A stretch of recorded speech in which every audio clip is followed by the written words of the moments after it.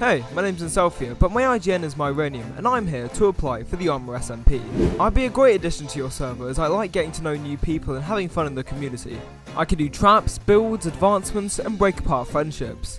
I'm not the greatest at PvP. Don't tell anyone that, please. I, I don't want to die. I suppose the thing I can do best in Minecraft though would definitely be doing clutches. I can do water bucket, boat, ladder, and most of the ones you can think of. So I hope that you can accept my application and I look forward to seeing if I can get in.